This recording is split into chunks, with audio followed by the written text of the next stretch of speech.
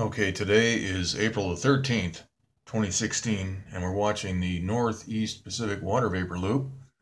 And right now, in the foothills of Los Angeles, at about 9.40 p.m., we have a temperature of 55 degrees. The uh, relative humidity is 88%. The dew point is 52 degrees, and the barometric pressure is dropped to 29.95. All right. Uh, last night it was 30.06. So we've got uh, we've got some low pressure moving into the area, and uh, as we can see from this map, uh, this storm right here is moving into uh, Oregon and Washington. This is a fairly large storm, and we can see that there's a transmitter on this core. And we also have a separate area of heating going on right down here, and that is disrupting the jet stream flow here. We can see the moisture suddenly just disappearing uh, right here because of all that high pressure and uh, heat being applied. What's happening here is they are cutting off this moisture field, which would uh, bring uh, more rain to uh, Northern California. We also had a lot of chemtrails down in Southern California today. All along the uh, west coast, we could see west coast of Southern California was filled with chemtrails, and and also the the northwest sky was very heavy a lot of chemtrailing going on, and that's because of all this moisture moving in.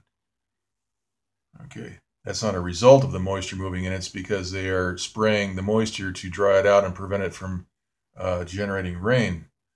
All right, let's look at this map uh, in the uh, infrared loop. We can see that that disruption here is very effective. This moisture just uh, evaporates right here where we have that uh, transmitter applying RF energy, which is heating the atmospheric moisture. The, the uh, water vapor in the air is being heated and it uh, evaporates. And then we have the chemtrails working down here to uh, sponge up any residual moisture. And, uh, and, we have this storm that is moving right into the uh, west coast. This is also generating 30 foot uh, swells. So there's going to be some erosion damage right along those two states on the coastline. We'll take a look at that. Uh, let's look at the uh, jet stream. We can see the flow here is moving uh, right into uh, California, Oregon, mainly. And then we have that uh, transmitter that is uh, parked right here, generating high pressure. And that is cutting off the, it's evaporating all the moisture in that flow. Okay, next we have the surface analysis map and uh, we can see the high pressure is uh, still firmly in place here. This has not moved much. And uh, we have that storm right here, 991 millibar moving uh, due east. And uh, what we have is, is a wind forecast because of the proximity of this high, 1031 millibar, and this low. So we've got, uh, we've got counterclockwise rotation here. We've got clockwise rotation here from the high. So we're going to have wind shooting through this direction. And as this moves on shore, uh, this will probably follow it. And uh, so we do have a wind forecast, and that, that is the reason why we're going to have wind. This is going to move in. We've got a high here. I'm not sure what the pressure is on that. We've got 1,013 here. We'll have to see what happens. But this cold front is uh, really, uh, it doesn't have much moisture in it, as we just saw in the uh, in this map here there's not uh, there may be a cold front, but uh, there's not we're not going to get any rain from that because it's it's been uh, they've got a transmitter right here which is uh, disrupting this entire moisture field. So we won't see probably see much rain if any. All right. Let's take a look at the uh, western U.S. water vapor loop. And we can see a transmitter working right here on the core, and that is actually generating pretty much uh, a straight line as we scroll through. Let's just slow this thing down. And we can see right here, a straight edge starting to, to develop right there. Let's see if I got an envelope handy here.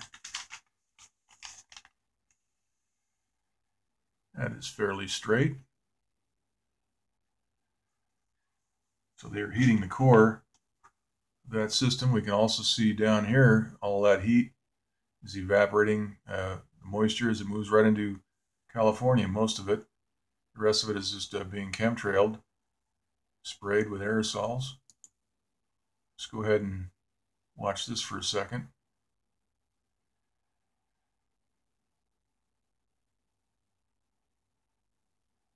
See that disruption, and we have that straight edge. Let's go ahead and stop this and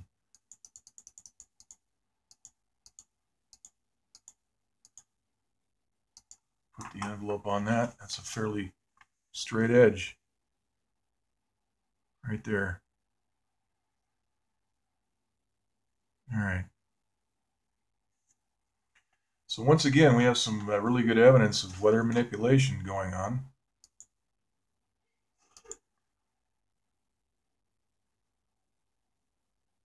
And we can see that pockets of moisture moving through the uh, Southern California area. All right, next, uh, let's take a look at the uh, ocean swell, the wave analysis. and uh, we can see that in the core of that storm, we have 29 foot swells, and that's just the average of the upper one third. Uh, there could be well over 30 foot swells there, and this is very close to Oregon and Washington and also uh, Northern California. So there's going to be a lot of, of very, very high surf moving in uh, to the uh, west coast here in about a day. And uh, some of this is going to make its way down into uh, Central California. All the north-facing beaches are going to get hammered uh, with that with that swell. All right, here is the sea level pressure analysis, and we can see that that high pressure extends all the way over parts of California. 1016 millibar. This line right here is extending all through here. 1016 we have this low, this storm is moving in. It'll be interesting to see what, what happens uh, because the center of this high is way out in the, uh, way far out. It's far enough out in the, in the ocean where, you know, we might be able to get some moisture out of this if certain things happen right here. So we see some dips here. We have some low pressure indicated. We have some little dips and bumps here. So there's some things going on here that we need to keep an eye on. Uh, so there's a lot of surface high pressure. Let's go take a look next at the uh, 500 millibar. We can see that storm right there. And then we have this uh, pocket of higher pressure here. We've got a high center down here.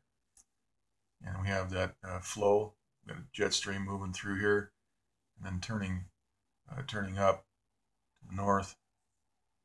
All right, uh, uh, 300 millibar, we can see the same thing. Pretty much, we've got a high centered out right over Hawaii. We've got a low down here. Right down, right down there. And then we have that low pressure over here that just, uh, was uh, right over California here a couple of days ago. It's now out over uh, Oklahoma, looks like. Okay, let's uh, look at the uh, MODIS Today map. This is the Southern California area map. MODIS Today, this is the color satellite map. This shows us the uh, chemtrails being sprayed uh, right here is Lompoc and Vandenberg Air Force Base. We have uh, San Luis Obispo down here and uh, Santa Barbara, and then we have uh, Los Angeles right right over here.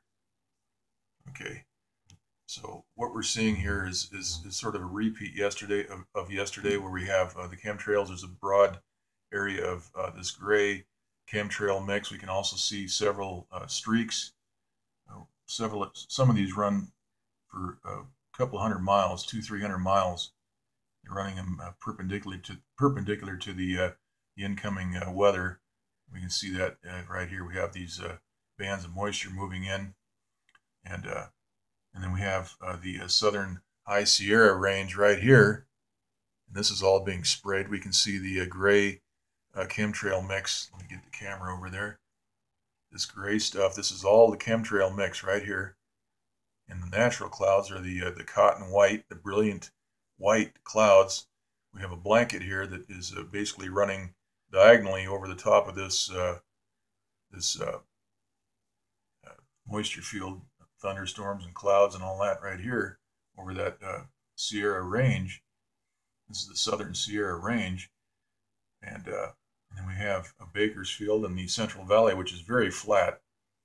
As we pan up a little bit more, we can see snow on the mountains. right here. That's all good, but uh, they shouldn't be spraying because uh, this is uh, stopping the rain. We got more of that over here. All this gray stuff. This is very easy to spot on the uh, satellite map. This is not uh, cirrus clouds. This is not water vapor. That is a, a chemtrail mix. All right, now let's look at the uh, Northern California and the Washington and Oregon map, uh, MODIS map. And uh, we can see, uh, first of all, that this map has been spliced together today. They've uh, photoshopped this thing. Now we can see that this is Washington State. Uh, this is the Columbia River right here. if anybody hasn't seen the Columbia River, you need to uh, check this out either by going up Interstate 5 or taking the 101 because this is a huge, very powerful river. And they, they get a lot of wind through this area right here. And uh, it's quite a sight to see. The Columbia River is, got to see it. All right, so what we see here is a lot of chemtrail mix. We can see that, and, and we have a splice, and then there's nothing. So they've they've taken uh, two different pictures and put them together. Anyhow, this side here, we can see that it's uh, just blanketed with chemtrail mix right here. And as we, as we pan down uh, into uh, California, we can see that offshore there is a lot of uh, spraying all this stuff here is all chemtrail mix as well. And then the stuff beneath that, the white right here, for instance, right here, this is all natural clouds. But all of this other stuff is, is a chemtrail mix. And so even though uh, Oregon and Washington got a lot of rain, uh, much much of the time when we look at the MODIS today map, this is what we see. They're spraying all the time, and and uh, a lot of time uh, that will not stop the rain up there, but it does effectively stop it down where we are here in Southern California because the, the storms are running right into, uh, like we're seeing tonight, and they got that storm right offshore, that's going to plow right into uh, Oregon and Washington. So that's just a little background. The chemtrails are only effective to a point. All right, so that's the summary for today. Um, the we do have a forecast for 84 85 degree weather on uh, Saturday and Sunday. And that's because they are uh, building high pressure. This is going to follow this uh, this whole set. We've got a, a, high and a low, and they're just going to move along and right over us here. And that's when we're going to get that wind. So this transmitter here is amplifying the effect of the uh, the swells offshore. It's uh, it's not uh, it's not at all going to kill this thing off. This is going to continue to, to move along. And they do have a transmitter on it, but it's still not going to kill it off. And what they're doing here is they're just simply cutting off the, uh, moisture field. As we can see, there's no moisture here. So we'll get some uh, clouds and we'll have chemtrails along with that. Okay, so that's it. We'll uh, go ahead and do another update tomorrow.